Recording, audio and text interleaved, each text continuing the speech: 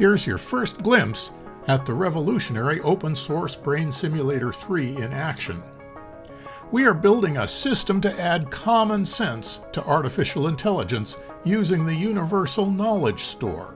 If you're interested in the future of artificial intelligence, I encourage you to join the Future AI Society where the design and development conversations are taking place. What you'll see in this video just scratches the surface of the wealth of capabilities being added to the project repository in coming months. But first, be sure to like and subscribe to this channel, then leave a comment with your reactions and suggestions about what you'd like to see next. To have common sense, a person or a computer needs to interact intelligently with the real world. In order to do that, a person or computer must understand things at a fundamental level. Just knowing lots of facts will never be enough. We'll need to add the understanding of object persistence, three dimensionality, the passage of time, cause and effect, things that any child knows but which are absent in today's AI. To do these, an AI will need new ways of recognizing objects and knowing how objects in the real world relate and react to one another, and how they relate to the AI itself so it can make intelligent, common sense decisions as to what actions to take to participate successfully in the world. To meet this requirement, the primary storage in the Brain Simulator 3 is a graph a collection of nodes connected by edges, which is how your brain must store similar information. I've made other videos on why this is how the brain must work. In the Brain Simulator project, this graph is called the Universal Knowledge Store, or UKS. And nodes are called things, while edges are called relationships. Things may have labels and may contain information, but the system would still work if the nodes contain no labels or informations at all. After all, there are no labels or sophisticated data structures in your brain. So, a thing, which is a node, is an abstraction which could represent anything a physical object, an action, an attribute, a sensation, in your mind and in the brain simulator, things are unambiguous, abstract concepts. The words in their labels are just for convenience of visualizing the information in the UKS. This demonstration has been written using the English language, but let me know in the comments if the system works in your language. Let's look at the principal features of the Brain Simulator 3 in its current iteration. It's built from independent modules which can all run in parallel, and new modules are being added all the time. It's easy to create new module types, and each module may have a dialog box. The four I'll touch on today are the UKS content display, the add statement dialog, the query dialog, and the add clause dialog. I'll start with an initialized UKS which contains just the rudiments necessary to get the structure off the ground. In the add statement dialog, I'll add the fact that Fido is a dog. In the UKS display, things and relationships which are new or updated turn green for a few seconds to draw your attention. Fido is indented under dog to indicate that Fido is a dog. Dog is indented under unknown object because the default for any new thing is that it is unknown.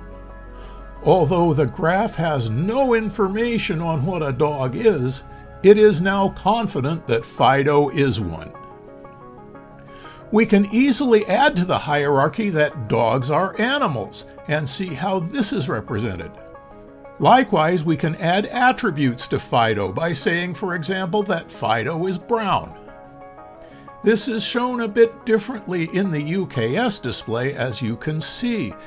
ISA relationships are displayed as an indented tree structure, while other relationships are shown as a list. Within the UKS, ISA relationships are just like any other relationships. They are displayed in a tree for convenience. ISA relationships are a bit special in that things can inherit attributes from their ancestors, as I'll show you. If I use the query dialog to retrieve the attributes of Fido, I get that Fido is brown. If I add the fact that dog has fur, Fido inherits that fact from its ancestors. I can see the source of the knowledge by selecting full relationships and repeating the query. From this, I can see that Fido is brown and Fido has fur because Fido is a dog. I can repeat the process by adding information that all dogs have four legs. I can see that Fido gets four legs through inheritance, and let's add a few more attributes. Dogs have tails, and dogs have two eyes. You can see the power of attribute inheritance as I've said before in other videos.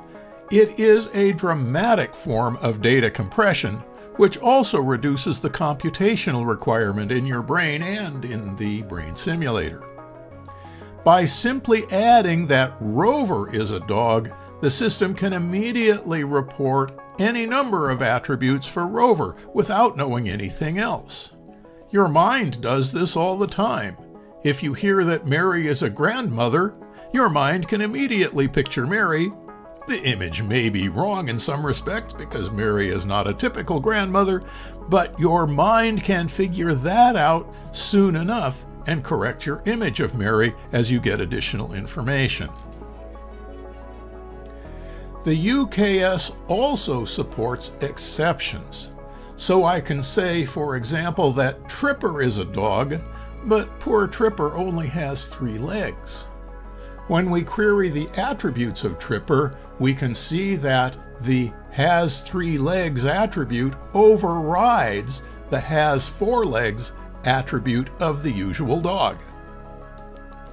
I cannot overstate the importance of this capability, the capability of handling exceptions to usual inheritance rules.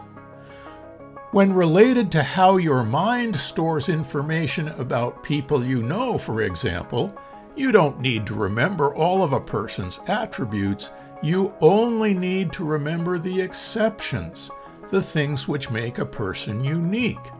Your mind and the UKS fills in all the common attributes automatically. The last feature I'd like to introduce is the concept of clauses. Consider that Fido can play fetch. We can see that in the attributes, especially when we focus the query to only look for can play attributes.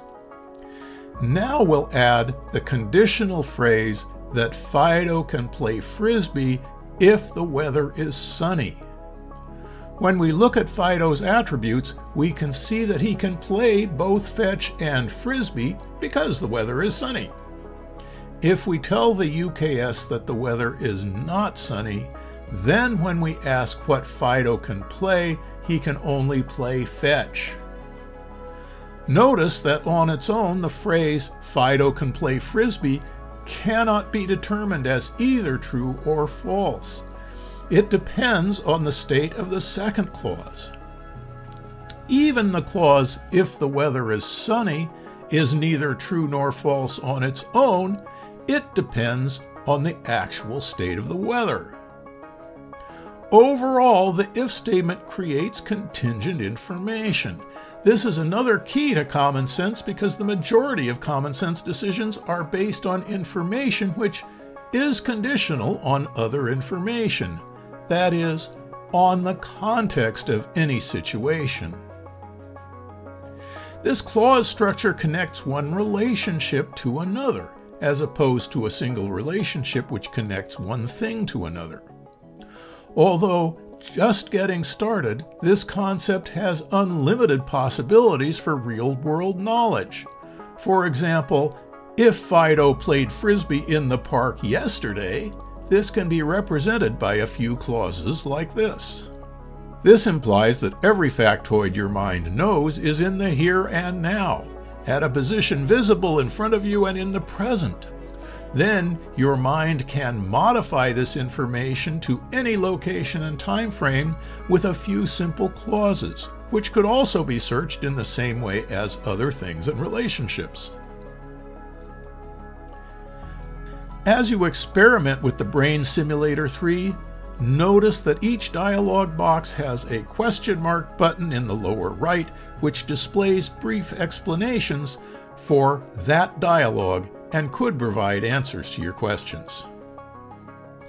To summarize, the UKS provides many features needed to represent information in the form of a graph. With its inheritance, exceptions, and clauses, it may already be capable of representing anything your mind can. Imagine if you can think it, the UKS can represent it.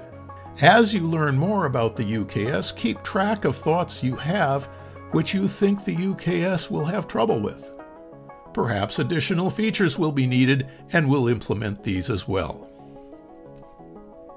In an upcoming video, I'll show more features about the usefulness of the UKS. Also, be ready for more cool features to be added to the Brain Simulator 3, including a language interface, cause and effect relationships, and a mental model.